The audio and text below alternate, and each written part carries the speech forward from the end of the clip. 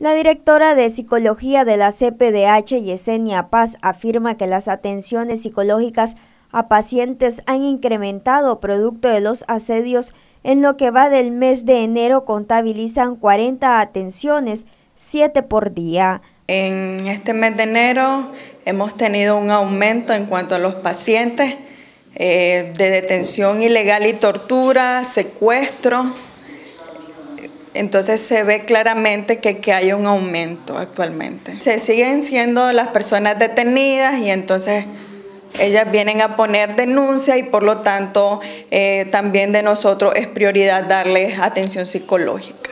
Los pacientes presentan ansiedad, trastornos de sueño, sensaciones persecutorias, descontrol alimenticio, ansiedad, depresión, estrés postraumático.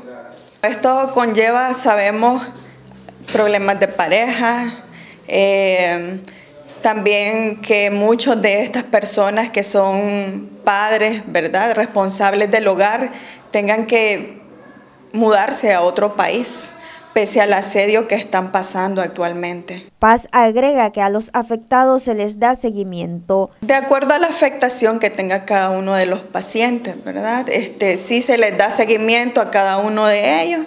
Eh, procurando también, ¿verdad?, de no posibles suicidios que puedan ocurrir. La atención es integral, se está atendiendo tanto a la persona afectada como a sus familiares, que esto incluye tanto a su madre, a sus padres, a su esposa, a sus hijos.